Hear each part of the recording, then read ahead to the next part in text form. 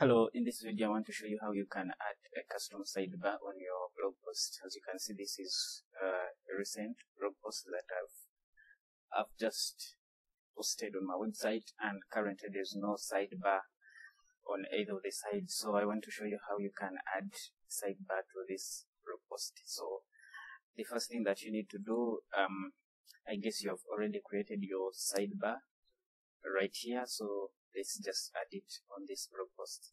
So just head over to posts. Okay, so on the on the list of the posts, just look for the post where you want to add the sidebar. So this is the title of the post. So I'm just going to head over to this post and right on this post, you as you can see on custom sidebars right here, uh, this very post has no any sidebar assigned to it. So what I will do is I will create, I will click on quick edit right here and it will bring this stuff. So on the template right here, first select which sidebar you want to show on your blog post. So on this blog post, I want to have a right sidebar. So the sidebar that you select here is what will be applied here.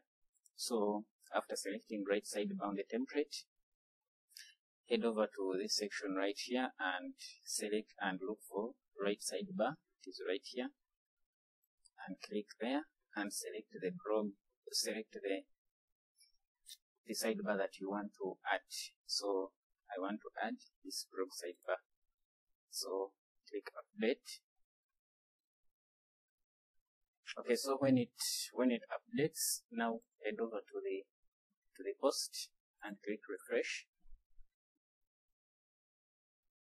Okay, as you can see, the sidebar has been added. This is the sidebar that I added. so you can see the right sidebar has been added to my blog post. So this is how you can add the sidebar. Subscribe for more. I'll see you in another one. Bye bye.